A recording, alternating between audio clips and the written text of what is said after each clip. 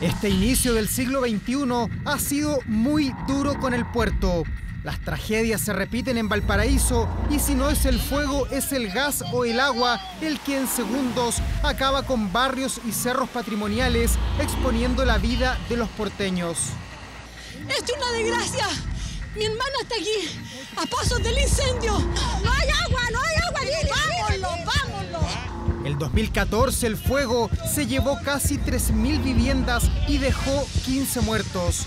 El 2017 otro incendio en los cerros nuevamente reveló la frágil infraestructura y la mala planificación urbana.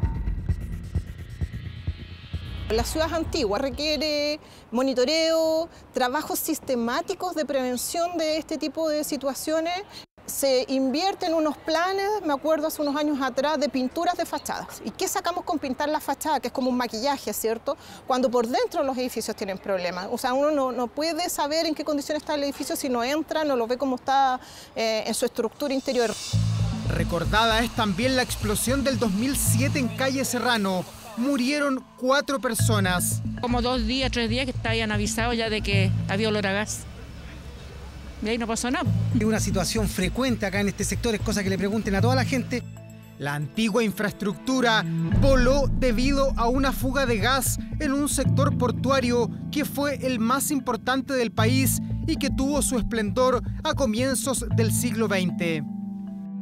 Hoy gran parte de los 295.000 habitantes vive en los cerros, pero abajo, en el llamado Plan de Valparaíso, hay solo 7.000 personas.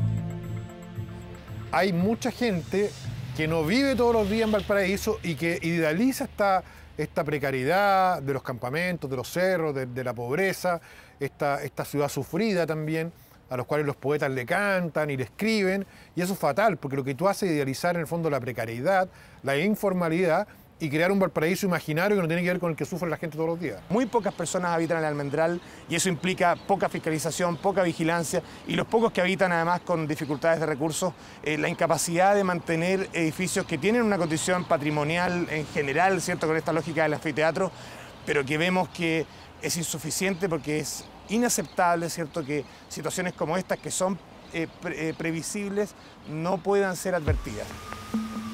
En el 2009 fue una matriz de agua la que mostró su precariedad, reventando en el cerro El Litre y llevándose a su paso 11 casas. Mi nieto me decía, mamá, tenemos que salir, mami, salgamos para afuera que estamos en peligro.